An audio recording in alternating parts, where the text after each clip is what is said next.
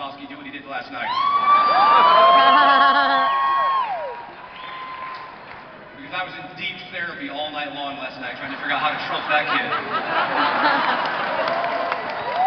Get paid, get paid. Get paid. It sounded awful familiar, I will say that. It did sound familiar. His dancing, his dancing was not so good. Guys, I live a blessed life. I sold my chiropractic office nine months ago. I tallied up last night. That's 36 weeks. I've been on vacation 13 of the 36.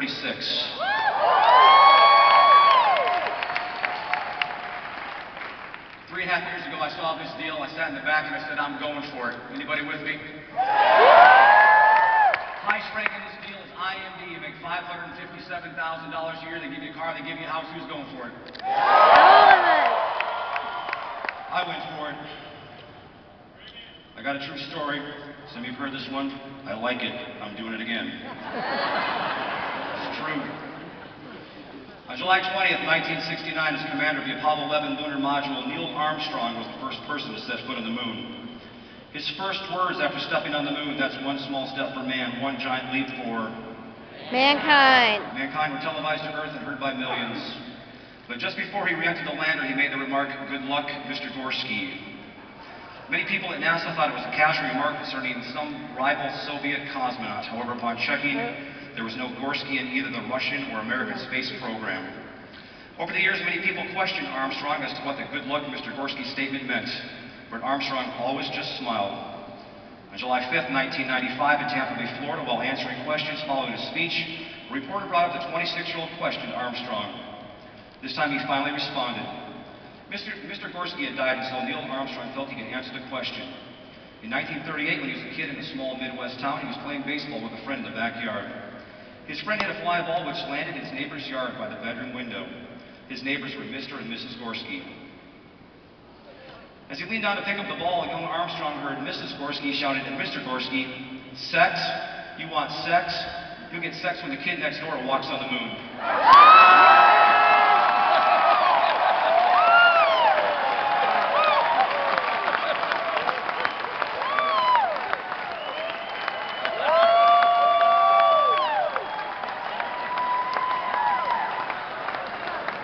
We never know how far-reaching something we may think, say, or do today will affect the lives of millions tomorrow.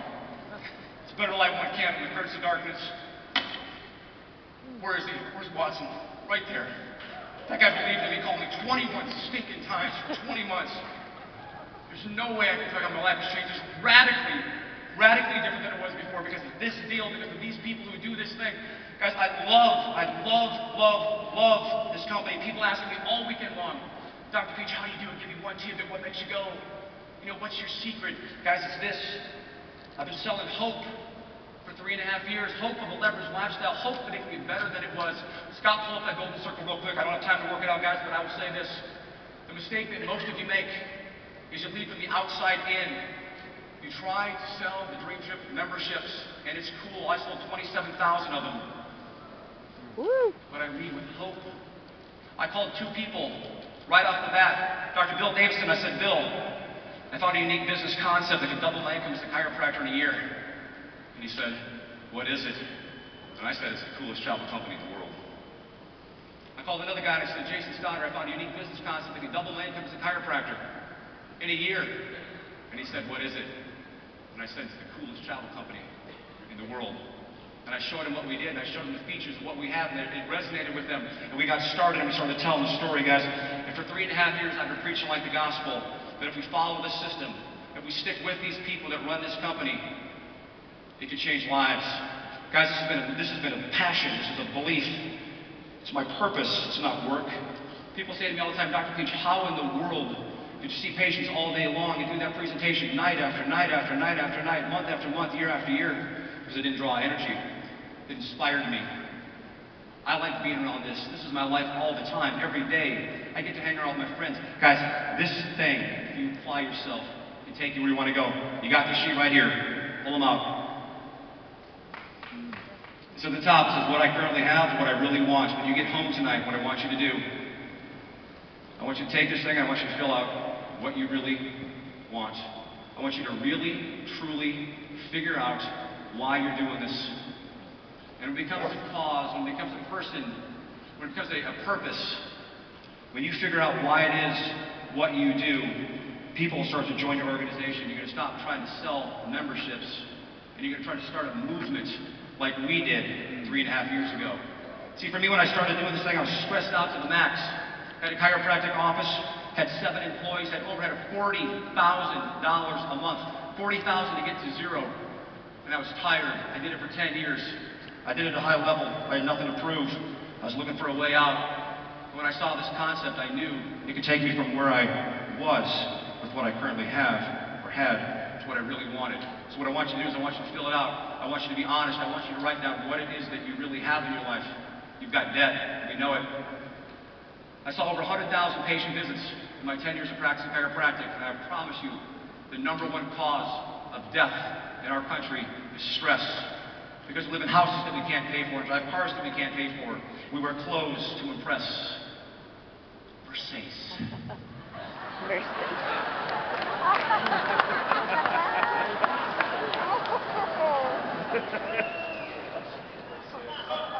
See, guys, you got to realize that what you really have, if you want to go to what you really want, World Ventures is the vehicle that can bridge the gap. And if you believe in network marketing like I do, and you believe in this company and the people that you saw just standing on the stage like I do, if you believe that you're going for it, IMD, who's going for it? I'm going for it again. I'm getting another one. See, I believe if people join my team, I'm going to help them. I believe I can help get them to where they want to go. I've stepped up and I've led. And I'm thankful very much for the people that do it with me day in and day out on our team. Guys, look. All week long, all weekend long, I hear people talking to me, and they just talk smack. I hear so much chatter. And you know what I'm going to say? I hear stuff like this. Dr. Peter got placed on the inside leg, but inside leg. Just do it.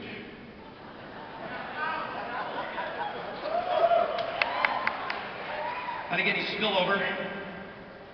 Just do it. My sponsor quit. My upline doesn't give me any help. Just do it. Thank you. I don't have any training. Just do it. Wasn't there in the beginning when the company started. Just do it. I don't have any money to come to training. You really got to do it. I don't know anybody. Just do it.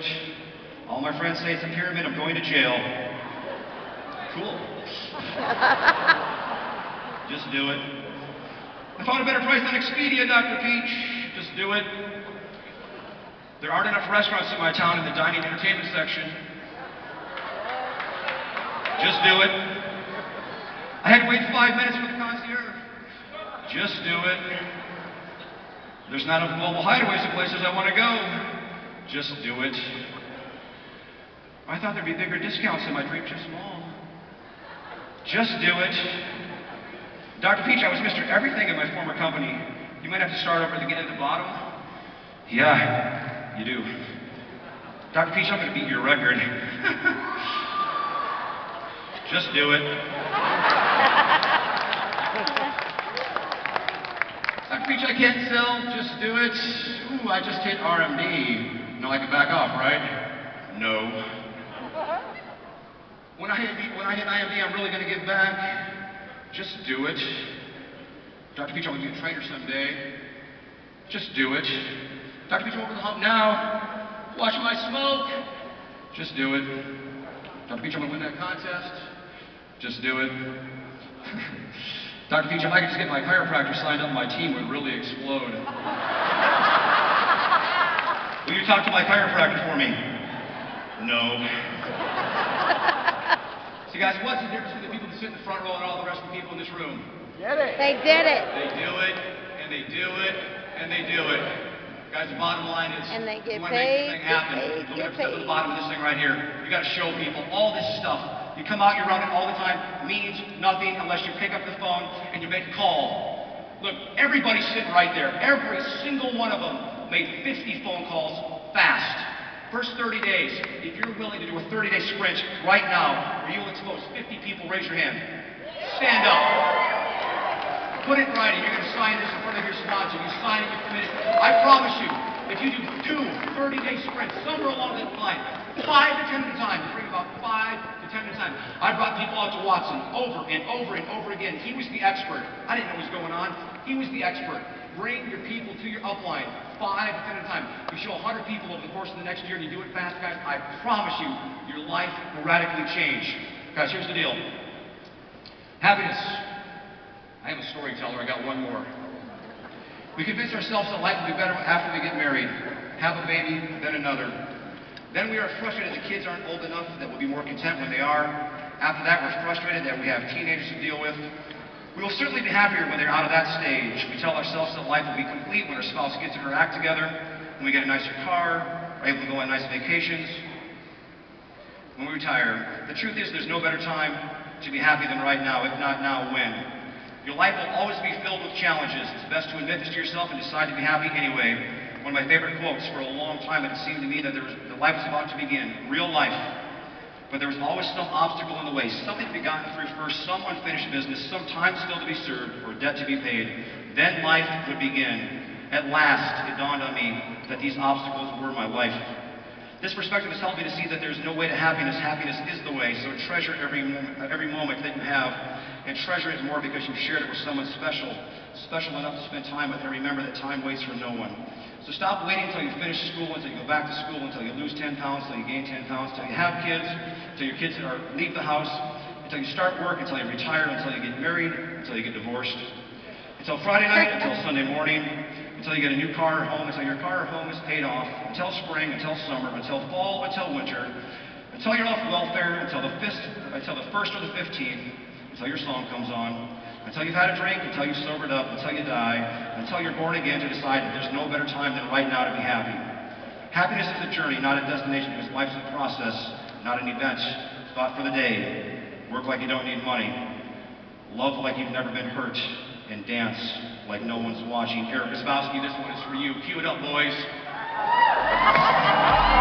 They say you gotta get uncomfortable. The most gonna uncomfortable thing I dance. could ever possibly do would be front of you. Watch this. I've been working on this